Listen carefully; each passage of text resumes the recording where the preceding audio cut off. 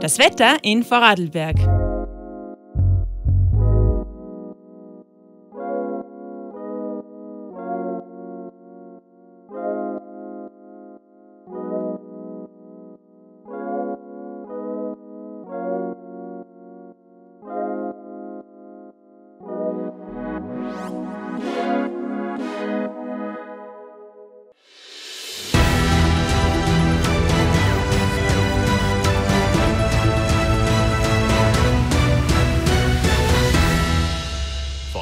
Live. Heute mit Pascal Pletsch. Mittwoch, 20. Juli 2022. Herzlich willkommen zu einer neuen heißen sommerlichen Ausgabe von Vorarlberg Live. Ja, heute steht unsere Sendung ganz im Zeichen der Eröffnung der Bregenzer Festspiele, die am Vormittag den, mit einem offiziellen Festakt feierlich eröffnet worden sind. Äh, die 76. Saison ist somit gestartet. Heute Abend geht es ja los mit dem Spiel auf dem See. Was da heute Vormittag los war beim Festspielhaus, das haben wir uns natürlich angesehen mit einer über dreistündigen Live-Übertragung und die besten Bilder daraus, die zeigen wir Ihnen natürlich noch später in der Sendung. Den Auftakt machen wir jetzt aber mit dem ORF-Generaldirektor äh, Roland Weißmann. Ihn hat mein Kollege Gerold Riebmann aus Termingründen im Vorfeld der Sendung getroffen, um mit ihm zu sprechen über natürlich die Neuerungen rund um die GIS-Gebühr, die ORF-Reform und was es sonst so Neues rund um den öffentlich-rechtlichen Rundfunk in Österreich gibt und natürlich auch, wie er seine ersten Wochen im Amt erlebt hat. Herr Generaldirektor, mit rund 650 Millionen Euro sind die berühmten ORF-Gebühren der Hauptpfeiler der Einkünfte äh, des ORFs. Und bisher gab es ja die sogenannte Streaming-Lücke. Das nur zum Eingang kurz erklärt. Das sind diejenigen, die keine GIS bezahlen, weil sie keine ORF-Programme, keinen ORF-Empfänger ihr eigen nennen, also kein terrestrisches Radio oder keinen Fernseher, jedenfalls nur über Streaming die ORF-Programme sehen. Jetzt sollen also in Zukunft Leute, die Formel 1, Zeit im Bild, Dancing Stars, Tatort sehen, auch ORF-Gebühr zahlen müssen. Jedenfalls dürfen sie keine nicht bezahlen. Das hat der Verfassungsgerichtshof am Montag festgestellt. Was wird sich denn konkret jetzt für die Zuschauer ändern und wie groß wiegt dieser Erfolg am Königelberg? Also für die Zuschauer wird sich gar nichts ändern. Sie werden weiterhin das beste Programm bekommen. Äh, man kann das auch anders sagen. Es sind nämlich 60 Cent am Tag, die man für den ORF bezahlt. Man bekommt dort äh, vier Fernsehprogramme, zwölf Radioprogramme und äh, mit www.orf.at die blaue Seite. Ähm, tatsächlich ist es so, dass der ORF sich vor drei Jahren beschwert hat beim Verfassungsgerichtshof, weil es darum geht, dass Menschen, die den ORF streamen, keine Gebühren zahlen müssen. Äh, und der Verfassungsgerichtshof hat aus unserer Sicht etwas sehr Gescheites gemacht, äh, nämlich er hat sich angeschaut, wie hat sich das Mediennutzungsverhalten der Menschen geändert, wie hat sich die Technologie weiterentwickelt äh, und, und ist sozusagen unseren Argumenten gefolgt und hat eben festgestellt, dass ab 01.01.2024 Streaming äh, von ORF-Programmen kostenpflichtig sein wird. Nun ist es so, ähm, wir haben das natürlich wohlwollend zur Kenntnis genommen, äh, sind aber, nachdem wir dann die 38 Seiten äh, sozusagen von unseren Juristen durcharbeiten haben lassen, natürlich sofort wieder mit der Arbeit begonnen haben. Also wir freuen uns, aber arbeiten äh, täglich äh, natürlich ganz hart weiter daran, äh, das beste Programm für unser Publikum zu liefern. Äh, und äh, nun ist es so, äh, dass ja nicht wir am Zug sind, sondern der Gesetzgeber. Im, im, im Erkenntnis heißt es ganz genau, ähm, dass die Medienpolitik jetzt Zeit hat, bis Ende 2023 sich dieser Frage zu widmen, eine andere Möglichkeit für die Finanzierung des ORF auszuarbeiten. Wenn das nicht passiert, dann ist es mit 1.1.24 automatisch so, dass eben Streaming auch auch gebührenpflichtig ist. Ich gehe aber davon aus, und wir sind ja nicht erst seit gestern im Gespräch mit der Medienpolitik, sondern schon seit vielen Monaten haben wir darauf hingewiesen, dass es problematisch ist, äh, ähm, dass man dann in den nächsten Wochen und Monaten in konkrete Gespräche äh, eingehen wird. Allerdings liegt äh, das Heft des Handelns bei der Medienpolitik, die eine Entscheidung treffen muss und auch wird, nämlich an, wie die Finanzierung des ORF in Zukunft ausschauen wird. Wie so viele Dinge das ORF-Gesetz betreffend bei der Medienministerin Susanne Raab. Ähm, Sie haben angesprochen, dass das äh, ein erheblicher Teil oder ein wichtiger Teil auch für den ORF ist. Das sind 117 oder 119 Millionen, glaube ich, wenn man das nach heutigen Gebühren umrechnen würde, die maximal erlösbar wären aus dieser Lücke. Naja, bis zu. Also wir haben es fürs Jahr 2022, gehen wir davon aus, äh, dass wir rund 5 bis 6 Millionen Euro dadurch verlieren. Aber das Problem würde immer größer werden in Zukunft, weil tatsächlich immer mehr streamen. Das ist ja ein Thema, das ja nicht nur wir haben, sondern auch andere Medienteilnehmer am heimischen Medienmarkt. Insofern, äh, äh, glaube ich, ist es ja nicht nur für den ORF gut, dass es eine Festlegung gibt, dass journalistischer Content äh, im Internet äh, auch etwas wert ist oder umgekehrt äh, man dafür etwas bezahlen muss, ist ja auch durchaus ein Thema, das auch die Zeitungen haben.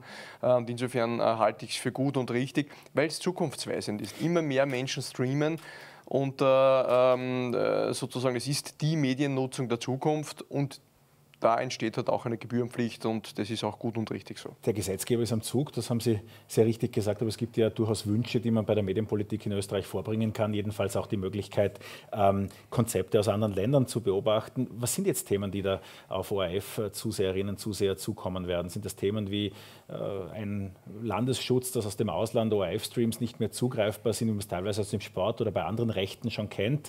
Wäre es eine Möglichkeit, dass äh, eine GIS-Gebührenschranke sozusagen sozusagen erfolgt oder äh, präferieren Sie doch das Modell, das alle dazu beitragen sollen, also dieses Modell der Haushaltsabgabe? Ähm, ich habe es äh, immer schon so gesagt. Also wir beraten und haben ja die größte Expertise. Wir beraten natürlich die Medienpolitik im Hintergrund, halte mich aber zurück äh, mit Äußerungen in der Öffentlichkeit, was die Medienpolitik äh, zu tun hat. Also umgekehrt gesagt, also es ist kein Wünsch dir was, dass der ORF äh, hier spielt. Äh, allerdings sozusagen gibt es verschiedene Varianten, die man verfolgen kann. Sie haben es ein bisschen angesprochen, vielleicht ganz grob skizziert. Also man könnte das derzeitige Modell, äh, vereinfacht gesagt, ist es ja so, dass Gebührenpflicht entsteht, wenn man ein Radio, ein empfangsbereites Radiogerät oder Fernsehgerät hat, dass eine Gebührenpflicht entsteht. Das könnte man jetzt einfach erweitern um einen Computer, um Internetnutzung. Man könnte aber auch natürlich, äh, so wie in Deutschland oder in der Schweiz, äh, über ein Modell der Haushaltsabgabe nachdenken. Wie gesagt, wir liefern hier gerne die Expertise im Hintergrund. Entscheiden muss es dann die Politik. Und äh, bitte um Verständnis, dass ich mich da in der Öffentlichkeit nicht dazu äußere, was die präferierte Methode ist. Es geht ja übrigens, lassen Sie mich diesen Satz vielleicht auch noch sagen, ja gar nicht um mehr Geld für den ORF. Es geht darum, dass wir eine nachhaltige Finanzierung durch dieses Erkenntnis haben haben werden. Das halte ich für ganz wichtig. Der ORF ist ja natürlich das größte heimische Medienunternehmen, aber wir erfüllen ja durchaus auch sehr wichtige ähm, demokratiepolitische Aufgaben und äh, da ist jetzt die Finanzierung nachhaltig gesichert. Über das ORF-Gesetz, das neue, wird schon seit langem gesprochen. Sie haben das gesagt, ob einige Monate reichen, das möchte ich hiermit bestreiten. Ich fürchte, dass es Jahre sind. Äh, da geht es konkret um das, was der ORF im Internet tun darf. Der ORF-Player, der äh, jedenfalls vor der Generalswahl auch bei Ihrem Vorgänger ganz groß auf dem Wunschzettel stand. Wie weit fortgeschritten sehen Sie die Gespräche und besteht jetzt die Gefahr, dass diese Nachbesserung, die notwendig ist äh, vom Verfassungsgerichtshof, dass die jetzt eine Novelle verzögern könnte? Na, ich persönlich glaube das nicht. Also äh, zu, äh, zu, den äh, Zeitdauern, also die zwei großen äh, ORF-Gesetze bzw. Novellen sind so im Wesentlichen im Zehn-Jahres-Schritt passiert, 2001 äh, und 2010. Also jetzt wäre es wieder mal der Zeit. Warum? Weil es einfach äh, eine rasante Veränderung gibt in der Medienwelt und daher gibt es den Wunsch des ORF, sich auch im digitalen Raum mehr ausbreiten zu können. Natürlich gehören diese zwei Dinge zusammen, man muss sie nur trennen. Also in der Verhandlung, die wir seit Monaten äh, mit den äh, Vertretern der Zeitungsherausgeber und mit den Vertretern der Privatmedien also FÖTS und FÖP, äh, seit Monaten führen, hinter verschlossenen Türen diese Gespräche laufen. Äh, sie werden mit großer gegenseitiger Wertschätzung geführt, allerdings wird natürlich auch hart verhandelt, weil es natürlich um einen Interessensausgleich gibt.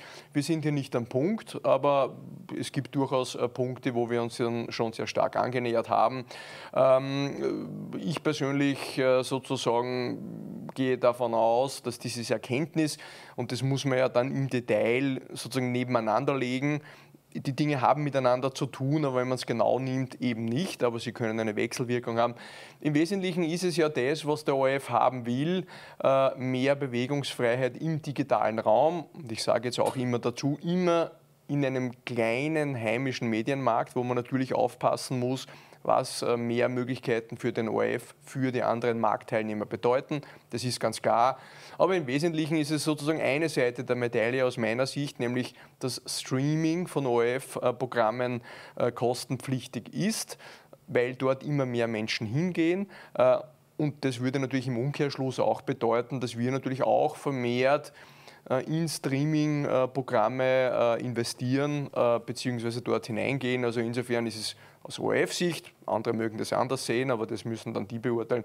Aus ORF-Sicht sozusagen passt es ganz gut zusammen dass wir so viel über das ORF-Gesetz heute Abend sprechen müssen. Aber es gibt noch einen anderen Passus, der ebenso den Verfassungsgerichtshof beschäftigen wird, nämlich die Frage im Prinzip vereinfacht, ob der Stiftungsrat verfassungskonform ist. Jener Stiftungsrat, der sie ja, vor knapp einem Jahr ins Amt gehievt hat. Ähm, und damit ist es sicher äh, für den ORF eine Frage, wie viel Politik Einfluss soll es im ORF geben, kann es im ORF geben. Denn der Stiftungsrat, für alle, die das nicht verfolgt haben, ist, ich sage mal vorsichtig, heftig parteipolitisch organisiert und auch entsprechend besetzt. Länderinteressen spielen mit, Landeshauptleute entsenden ihre Gefolgsleute. Ähm, wie viel Politik verträgt denn der ORF in Zukunft und wie sehr gefällt Ihnen das jetzige Konstrukt? Also, äh, ich sage das, was ich immer dazu gesagt habe. Man kann natürlich Dinge immer diskutieren, ja, aber ehrlicherweise ist es immer eine Frage des Gesetzgebers äh, und nicht äh, des ORF, äh, äh, wie sich Gremien zusammensetzen. Ich muss ich ein bisschen korrigieren. Äh, in der Beschwerde beim Verfassungsgerichtshof geht es um die Neukonstituierung des Stiftungsrates. Äh, gewählt hat mich der alte Stiftungsrat. Das also, ist richtig. Das ist richtig. Also, das ist gar nicht die Frage. Und ja, jetzt ist der Verfassungsgerichtshof am Zug und, und das kommentiere ich nicht. Inwiefern würde dem ORF weniger Politikeinfluss insofern gut tun, weil Sie können es ja auch nicht zeitgemäß halten, dass wenn man die Landesstudios denken, ein Landeshauptmann ein, wie es genau heißt, Anhörungsrecht heißt, wenn es um die Bestellung von Ihnen als Generaldirektor für einen Landesdirektor geht.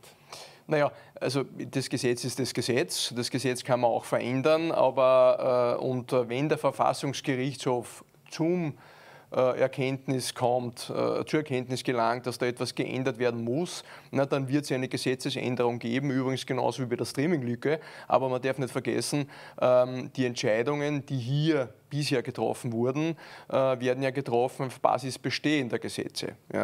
Ähm, die Grundlage ist die ORF-Gesetzänderung aus 2001. Also 20 Jahre lang äh, sind Entscheidungen so getroffen worden, wie sie getroffen wurden. Ähm, ja, und wenn es eine Änderung geben soll, äh, dann ist das in Ordnung. Äh, insgesamt äh, lege ich schon Wert darauf, ähm, es gibt ein Anhörungsrecht der Landeshauptleute, das ist richtig, ja, aber es ist ein Anhörungsrecht. Ja, und ich kann Ihnen sagen, ähm, die Landesdirektoren und Landesdirektorinnen werden vom Stiftungsrat auf Vorschlag des Generaldirektors gewählt. Äh, und nachdem ich äh, vergangenes Jahr erstmalig neun Landesdirektorinnen und Landesdirektoren zur Wahl vorgeschlagen habe, die übrigens mit großer Mehrheit dann auch gewählt wurden, kann ich Ihnen sagen, ich habe äh, das im Gesetz vorgeschriebene Anhörungsrecht jeweils sozusagen erfüllt, aber die Entscheidungen habe ich alleine getroffen auch nur insofern gefragt als politischer Beobachter, insofern, inwiefern bringt es einen Broadcast-Konzern weiter, wenn der Chefredakteur zufällig immer dann wechselt, nachdem es eine Regierungsänderung gegeben hat? Ja, das ist ja nicht so. Also äh, ich bin schon lange im OF, 27 Jahre, ab und zu kann das zufällig passieren. Sehr oft ist es aber nicht passiert. Also ich kann mich jetzt nicht an so viele Chefredakteurswechsel erinnern. Das ist einfach nicht richtig. Ab und zu gibt es einen Wechsel, völlig richtig. Äh, aber das, ich würde das nicht äh, sozusagen das eine mit dem anderen in Verbindung bringen. Lassen Sie mir noch einen Satz sagen äh, zur Frage am Ende des Tages kann man natürlich, aber jetzt sind wir sehr in der abstrakten Diskussion, äh, darüber nachdenken, ähm, dass bei staatsnahen Unternehmen äh, sozusagen gewisse Entscheidungen getroffen werden muss. Also wenn ich Politiker wäre und äh, die Verantwortung habe über gewisse Entscheidungen in äh, staatsnahen Unternehmen, dann äh, würde ich ehrlicherweise natürlich auch Wert darauf legen, äh, dass ich äh, die Entscheidungspositionen mit Personen besetze, die wo ich glaube, dass die das äh, gut machen können. Ja, das halte ich für legitim, weil sonst würde man nämlich als Politiker die Verantwortung dafür abgeben. Also so zu tun, ähm, dass das eine mit dem anderen gar nichts zu tun hat, da muss man aufpassen. Das Zweite ist, und das kann ich Ihnen sagen, äh, der ORF ist gerade was den Journalismus betrifft, total unabhängig. Wir haben gerade erst jetzt ein neues Redakteursstatut beschlossen. Übrigens nach 1976 ist das meiner Meinung nach stark an der Zeit, dass sich hier etwas äh, getan hat. Und da ist die Unabhängigkeit, die Weisungsfreiheit der Journalisten und Journalistinnen garantiert gesetzlich, übrigens in verschiedenen im ORF-Gesetz, äh, äh, übrigens auch im Redakteurstatut. Also die Journalistinnen und Journalisten können im ORF hundertprozentig weisungsfrei arbeiten. Äh, dass Politiker, Politikerinnen intervenieren, ist legitim. Ob man der Intervention danach gibt, ist die andere Frage. Ich kann Ihnen sagen, ich bin jetzt seit sieben Monaten im Amt. Die Interventionen haben sich übrigens auch äh, äh, relativ äh, gering angelassen. Äh, und ehrlicherweise ja, man muss es dann auch anschauen. Manchmal ist eine Intervention auch gerechtfertigt, wenn ein Fehler passiert, ja, dann wird man es ändern im Sinne einer positiven Fehlerkultur. Ja. Aber eine reine politische Intervention, die hat es bei mir bisher sehr wenig gegeben. Erstens und zweitens die wenigen, die es gegeben hat, ja, die habe ich einfach nicht stattfinden lassen. Jetzt viele der Journalistinnen und Journalisten im ORF arbeiten seit kurzem im neuen Newsroom, ein großes Projekt mit einem wunderbaren Innenhof, ein großes Büro, in dem Radio, Fernsehen und äh, online äh, auch verschiedene andere Redaktionen zusammenkommen. Was die Zuseherinnen und Zuseher noch nicht gesehen haben, es wird auch ein neues ZIP-Studio geben, wenn es dann ja. im Herbst in Betrieb geht und so weiter und so fort. Große neue Technik. Was sind Ihre Erwartungshaltungen konkret an den neuen Newsroom? Naja, es ist ein Signal für die Zukunft des ORF. Der ORF äh, hat dort, und das ist ja nicht eine Entscheidung, die ich getroffen habe, sondern die wurde vor mittlerweile zehn Jahren getroffen, es hat zehn Jahre gedauert. Es ist äh, ein Zug der Zeit, einfach äh, Radio, Fernsehen und Online äh, in einem äh, multimedialen Newsroom eben zusammenzuziehen. Ähm, wobei es ganz wichtig ist im ORF, äh, wir haben ja sehr erfolgreiche Marken, nämlich im Fernsehen, ich sage jetzt nur beispielhaft die ZIP 2 zum Beispiel, aber auch im Radio mit den Ö1 Morgenjournalen. Ja. Und wir haben hier ein Konstrukt geschaffen und äh, es spielt ja jetzt schon äh, einige Wochen sehr erfolgreich, dass wir zusammenbringen, dass es gewisse Dinge gibt, die man gemeinsam machen kann. Ja. Also zum Beispiel das Erstellen von Kurznachrichten äh, und dass es aber äh, gleichzeitig äh, weiterhin möglich ist, dass die Ö1-Journale oder die ZIP 2 einfach ihre Eigenständigkeit behalten. Das ist das Wichtige. Das heißt, es ist ein System, wo es gewisse Dinge gibt, die man in der Synergie machen kann. Also wenn es jetzt zum Beispiel ein, ein, weiß ich nicht, ein Zugunglück äh, gibt, zum Beispiel ein, ein, ein, dramatisches, dann war es halt bisher so, dass in drei, vier verschiedenen Redaktionen einfach die Grundgeschichte recherchiert wurde von Radio-, Fernsehredakteuren, Online-Redakteuren. Diese Grundrecherche die wird künftig dann nur mehr eine Person machen und die anderen Personen, die ja bisher das parallel gemacht haben, die können sich dann für zwei oder drei zusätzliche erweiterte Geschichten kümmern.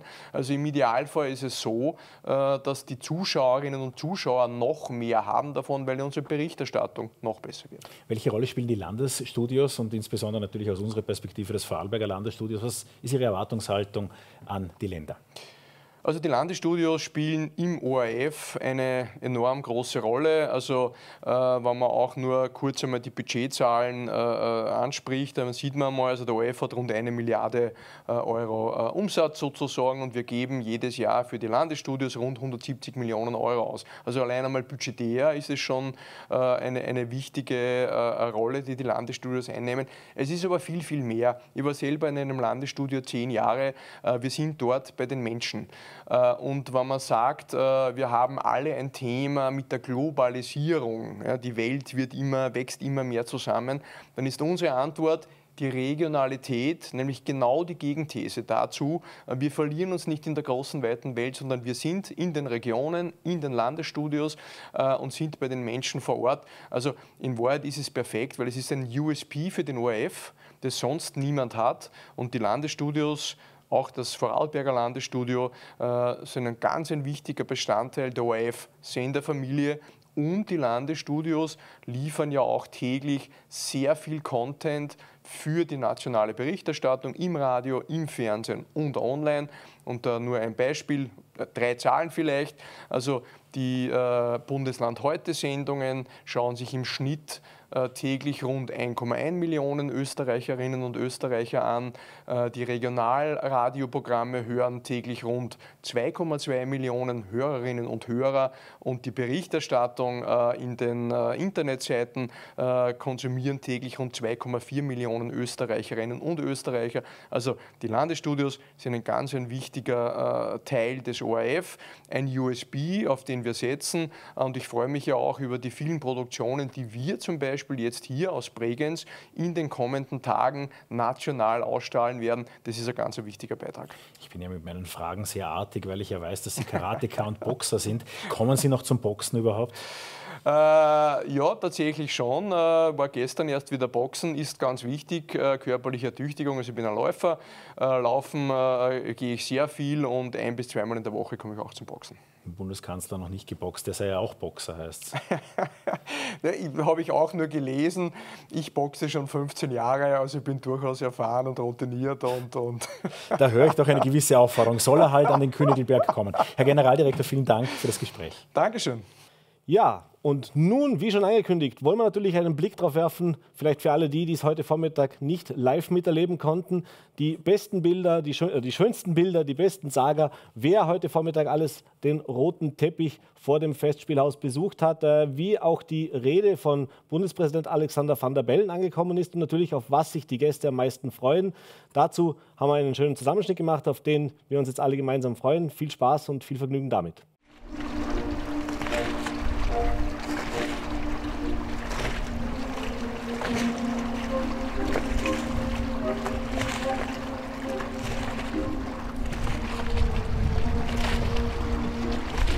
Ja, und bei mir jetzt äh, Vizebürgermeisterin der Stadt Bregenz, Sandra Schoch. Schön, dass Sie da sind. Wie gefällt es Ihnen hier in Bregenz?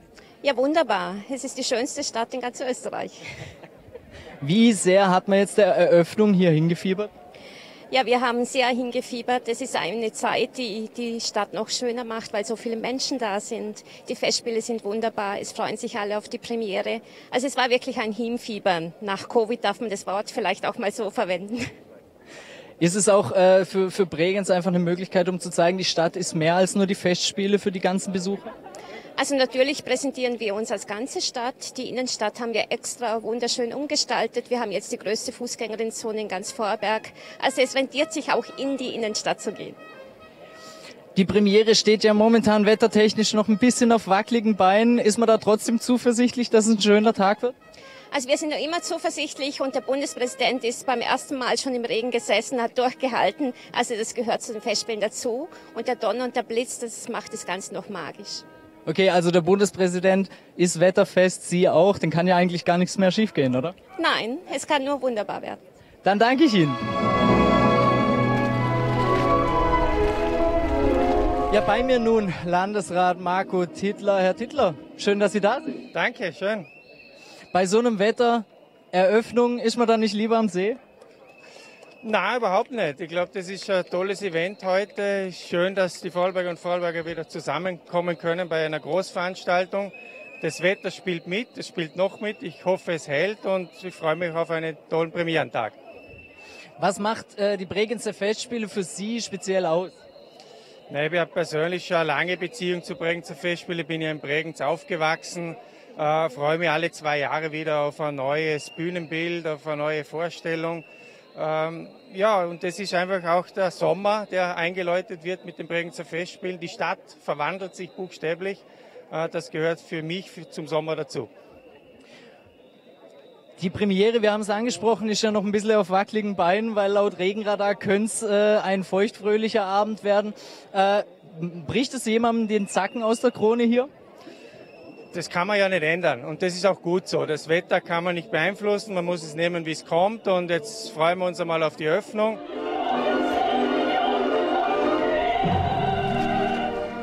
Ja, bei mir nun vor der Festspielbühne Landesrat Daniel Zadra. Schön, dass Sie da sind. Herzlichen Dank.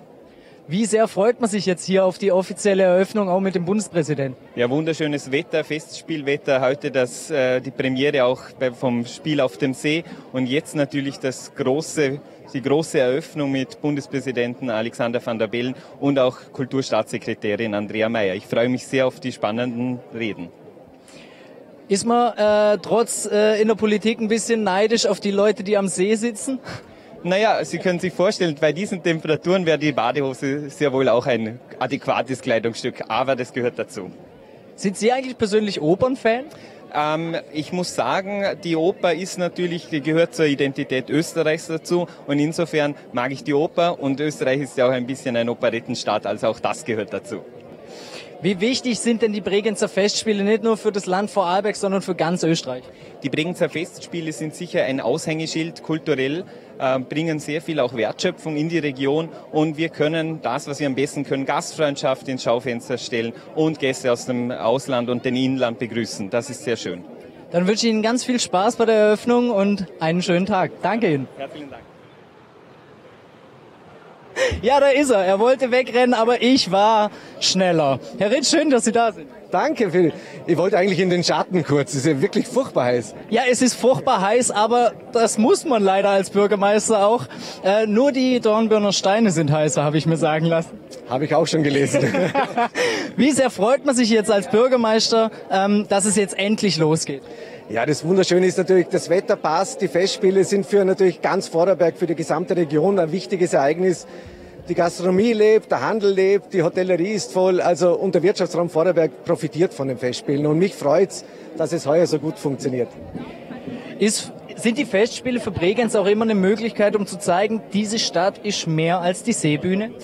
Also das Schöne ist, man Bregenz ist Kulturhauptstadt, das wissen wir. Wir haben vier wunderschöne Ausstellungen, wir haben das Festspielhaus, es ist eigentlich alles angerichtet. Wir haben jetzt neu in der Innenstadt eine Fußgängerzone, wo wir sagen, wir wollen auch wirklich Stadt sein und, und diese Stadt auch zeigen und auch Landeshauptstadt sein. Das wunderschöne Bodenseeufer, also was will man mehr? Ein schöner Sommer steht vor uns.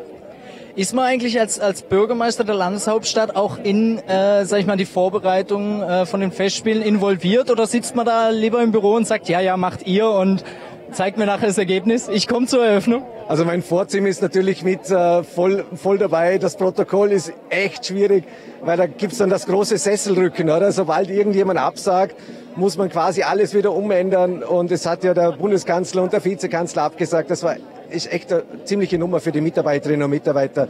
Aber am Ende, es läuft und es funktioniert immer. Sind Sie eigentlich persönlich Opernfan?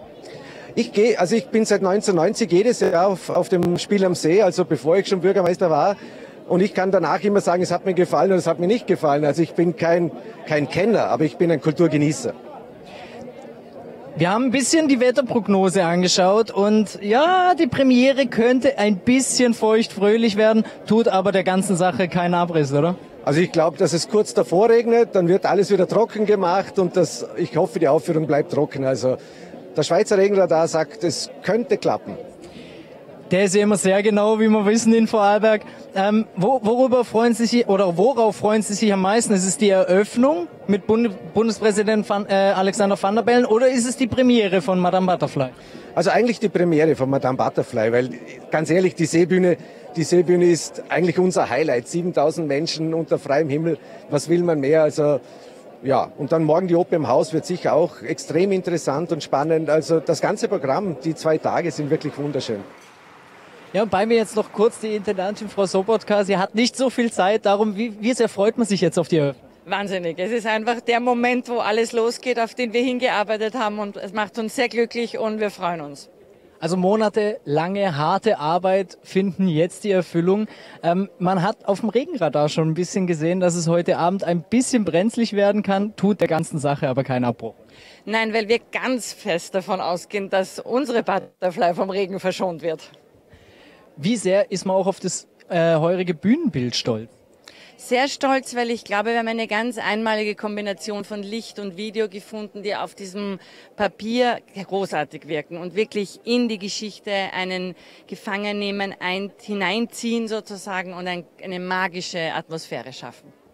Dann steht ja einer guten Eröffnung und einer guten Premiere nichts mehr im Wege. Vielen Dank für das Gespräch und alles Gute. Vielen Dank, sehr gerne. Die wievielten Festspiele sind es denn für Sie? Ja, ich denke die 25. das ist eine stolze Zahl, also quasi ein Jubiläum. Wie meinen Sie das? Ja, 25 Jahre ist ja ein kleines Jubiläum, oder? Ja, kann man es auch nennen. ähm, was macht für Sie die, oder was machen für Sie die Festspiele für die Stadt Bregenz aus? Ja, sehr viel. Also das hat einen hohen Stellenwert hier in Bregenz und äh, kulturell auch. Ähm, ja, das ist einfach ein, ein, Highlight, jedes Jahr wieder. Und wenn es irgendwie möglich ist, ähm, bin ich dabei, äh, sehe mir die Vorstellungen an und äh, äh, wirke auch teilweise mit, also wenn es irgendwie geht. Mitwirken inwiefern? Ja, bei, äh, letzten Sonntag war die Festmesse in, äh, äh, übertragen worden im ORF, also im Fernsehen und Radio. Und ich habe die Möglichkeit, beim Chor mitzusingen. Und es wurde die Therese-Messe aufgeführt von Haydn. Und ja, das war ein, ein totales, total schönes Erlebnis für mich und ein absolutes Highlight. Dann sind Sie ja quasi mittendrin statt nur dabei bei dem Bregenzer Festspiel. Ja, so ist es, genau. Was ist das für ein Feeling? Ein sehr, sehr schönes, ja. Und äh, wenn man, äh, ich habe auch die Möglichkeit gehabt, äh, Montag die ähm, Generalprobe zu sehen, was Madame Butterfly. Und ja, das ist ähm, ein Erlebnis, oder es war ein Erlebnis, ähm, ja, sehr ergreifend und schön. Und ich hoffe, dass äh, es auch hier so weitergehen wird. Mit diesem Wetter, mit dieser Stimmung. Einfach schön. Wenn Sie schon bei der Generalprobe waren, dann können Sie ja schon ein bisschen was verraten. Man hat ja oft äh, gehört, dieses Bühnenbild, auch wenn es im ersten Moment einfach sehr schlicht rüberkommt, ähm, ist bei einer Abendveranstaltung mit den Lichtverhältnissen einfach magisch. Können Sie das bestätigen? Absolut, absolut. Es ist, äh, es ist der Ausdruck, also mit, mit den wenigen Darstellern. Es ist so ausdrucksvoll, es ist so stimmig und äh, wenn vorher noch der Sonnenuntergang ist, also das ist, äh, das ist ein totales Bild und ähm, ja, eine Einheit. Und dass er mit, der, mit dem ergreifenden Stück dann äh, und mit dem Schlusseffekt äh, dann noch den Höhepunkt macht. Und äh, ja, ich kann es nur empfehlen anzusehen und es auf einen wirken zu lassen. Zum wievielten Mal sind Sie hier in Bregenz? Ich bin jedes Jahr bei der Festspieleröffnung. Die wievielte ist es? Ja, jedes Mal kann ich nicht sagen, aber ich bin schon circa 14 Mal da. Okay, das ist ja schon mal ein Wort. Ähm, was war bisher Ihr schönstes Erlebnis bei den Festspielen? Das war schon die Oper Carmen. Warum? Ja, einfach das Ganze, das ganze Ambiente und die, der Inhalt und die Handlung und alles. Meine äh, die, die, die Roswitha, die gerade bei uns war, die war bei der Generalprobe. Warst du das auch? Nein, ich war nicht. Aber Karten für eine Aufführung sind da? Ich habe heute Abend, bin ich gleich dabei, ja. Ach, jedes direkt Jahr. zur Premiere? Je, jedes Jahr, ja. Jedes Jahr. Mhm. Okay. Auf was freut man sich denn am meisten? Ja, natürlich auf das Bühnenbild, das lang vorher schon in Arbeit ist. Und die Handlung kennt man sowieso. Und einfach die ganze Ambiente hier am Festspielplatz, das ist das Tolle, was mich so herauszieht aus dem Bregenzer Wald.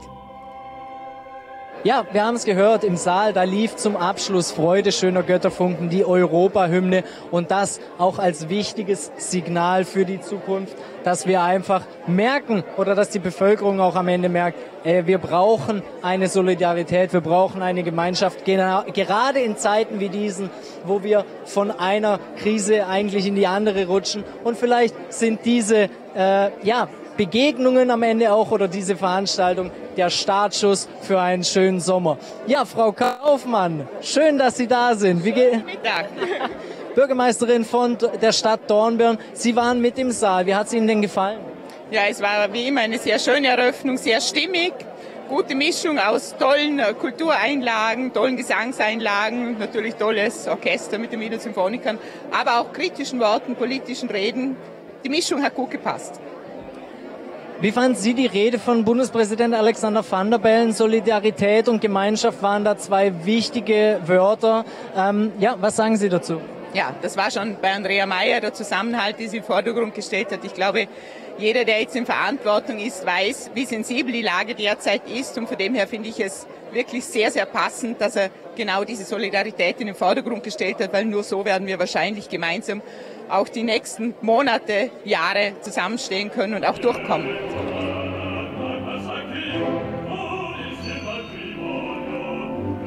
Herzlich willkommen in Bregenz. Grüß Gott, vielen Dank. Wir haben uns ja schon äh, auf der Messe in Dornbirn mal getroffen. Äh, da waren die Zeiten auch ein bisschen undurchsichtig.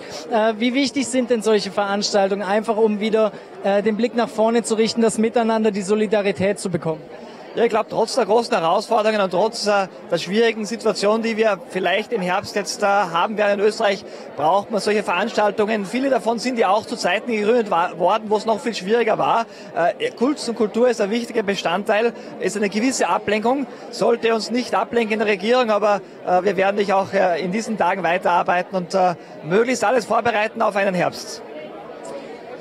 Alexander Van der Bellen hat in seiner Rede, äh, sag ich mal, Worte wie Solidarität, Gemeinschaft und dass das eigentlich nie wichtiger war als jetzt. Stimmen Sie dem zu? Äh, vollständig. Ich habe äh, seine Rede sehr, sehr äh, gut empfunden, wenn ich das so einschätzen darf. Es ist, glaube ich, wichtig jetzt, dass wir gesellschaftlich zusammenhalten. Es gibt einfach Kräfte, die uns in gewisse Richtungen bringen. Und die Krisen, die wir jetzt gehabt haben in der Covid-Pandemie, aber jetzt auch äh, durch den Krieg äh, in der Ukraine, durch die Teuerung, können wir nur gemeinsam lösen. Gesellschaft, Wirtschaft und natürlich Politik gemeinsam. Wir müssen zusammenhalten, solidarisch sein mit der Ukraine, aber auch in Österreich. Äh, sonst werden wir uns auseinander dividieren lassen und das wäre gesellschaftlich für Österreich fatal. Wie wichtig sind denn die Bregenzer Festspiele gerade auch als wirtschaftlicher Motor für Vorarlberg, aber auch für Österreich?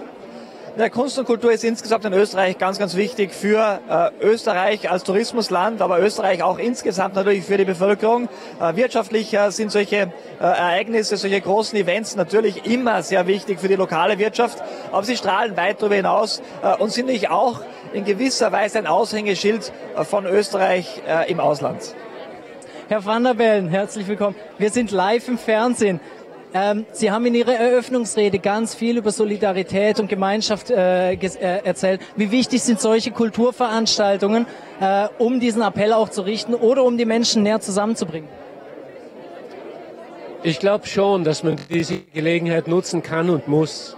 Ähm, aus verschiedenen Gründen. Ganz pragmatisch, hier sind auch viele Leute, die noch nicht unter der Inflation leiden, weil sie sich schlicht leisten können. Ja? Die muss man sensibilisieren äh, für die Situation anderer Menschen. Äh, aber tatsächlich drohen uns Szenarien, die man offen ansprechen muss. Vielleicht können wir sie verhindern, vielleicht auch nicht. Sie wurden hier draußen sehr äh, viel für Ihre Ehrlichkeit gelobt. Wie wichtig ist Ihnen Ehrlichkeit in der heutigen Zeit? No, Ehrlichkeit ist immer wichtig, unabhängig von, von den Zeiten, glaube ich. Aber wenn das, wenn das, wie soll ich sagen, wohlwollend aufgenommen wird, dann freut mich das sehr. Wie sehr freuen Sie sich auf die Premiere heute Abend? Abschließende Frage. Ah, also die waren immer auf gut Tirolerisch, waren diese Seebühnenaufführungen spektakulär. Das wird bei Madame Butterfly zurückhaltend sein, äh, aber trotzdem hinreißend, bin ich sicher. Ich wünsche Ihnen alles Gute, viel Spaß bei der Premiere und alles Gute, gell? Dankeschön. Treten Sie zu mir, ich grüße Sie. Hallo. Hallo, schönen guten Tag. Für Sie ja quasi ein Heimspiel. Ähm, wie fanden Sie die Eröffnungsfeier? Also ich fand die Rede des Bundespräsidenten extrem beeindruckend. Der hat in einer Deutlichkeit und Klarheit gesagt, was es geschlagen hat, dass äh, es jetzt eigentlich alle verstanden haben oder verstanden haben müssen. Und ich glaube, es wird jetzt einfach darauf ankommen, äh, dass das erkannt wird und aber gesagt wird, äh, die Zeiten werden ganz bestimmt nicht lustig, aber wir schaffen das, nämlich dann, wenn wir zusammenhalten und zusammenstehen. Und das ist ja etwas, was man in Vorarlberg immer schon durch hat. Und ich glaube, das ist die Botschaft des Tages. Bisschen provokante Frage, aber kann sich da der ein oder andere Politiker eine Scheibe vom Bundespräsidenten abschneiden, um einfach mal zu sagen, okay, ehrlich, so sieht's aus, aber das ist der Weg nach vorne? Also ich habe das schon mehrfach gemacht. Ich bin ja bekannt für meine klaren Worte. Es ist auch nicht immer geliebt. Äh, äh, ich mache das fortlaufend und auch deshalb, äh, weil ich einfach glaube, ähm, die Leute wissen es eh, was es geschlagen hat. Ja, ich meine, wer die, wer die Rechnung nicht mehr zahlen kann am Monatsende, weil die Stromkosten so hoch sind, äh, oder äh, sich seinen Lebensmitteleinkauf am Ende des Monats nicht mehr leisten kann, der weiß es längst. Ja. Und ich bin ja täglich konfrontiert äh, mit diesen Situationen als Sozialminister. Und das ist auch der Grund, warum wir jetzt im August äh, Familienbeihilfe extra auszahlen, September die nächste Hilfszahlung kommt, Oktober die nächste und wir wissen, da wird, das wird einfach noch mehr passieren müssen. Kommen wir zu den äh, schöneren Themen momentan, die, die Bregenzer Festspiele. Wie wichtig sind äh, diese äh, Festspiele für die gesamte Region Vorarlberg? Naja, es ist mir schon heute die Frage gestellt worden, um in Zeiten, wie wir sie jetzt haben, äh, überhaupt Festspiele machen soll und warum Kunst und Kultur. Äh, aber ich halte es für extrem wichtig, weil äh, wir eine Kulturnation sind und wenn wir das verlieren oder aufgeben, dann würden wir ganz viel von unserer von, von unserer Eigenart auch verlieren. Die Festspiele gehören halt im Sommer zu Bregenz äh, wie Kartoffelsalat zu Käsknöpfel, oder wenn man es so formulieren will. Ja. Das hat Platz und das gehört daher. Da treffen sich die Menschen, man redet miteinander, man tauscht sich aus.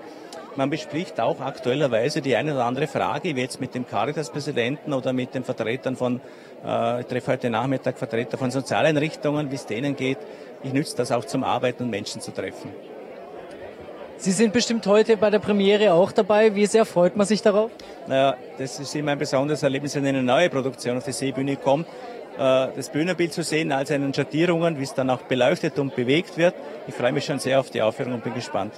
Dann wünsche ich Ihnen alles Gute, viel Spaß heute auf der Premiere und äh, wir hoffen, dass das Wetter hält.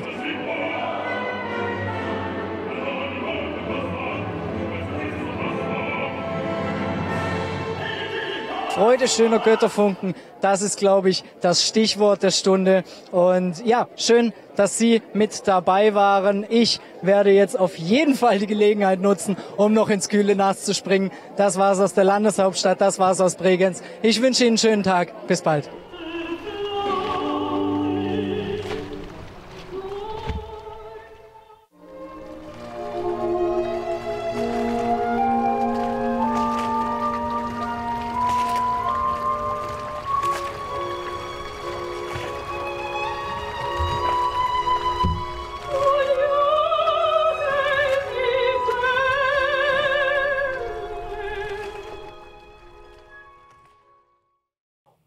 Das war's mit der heutigen Ausgabe von Vorarlberg Live. Ich hoffe, es hat Ihnen gefallen.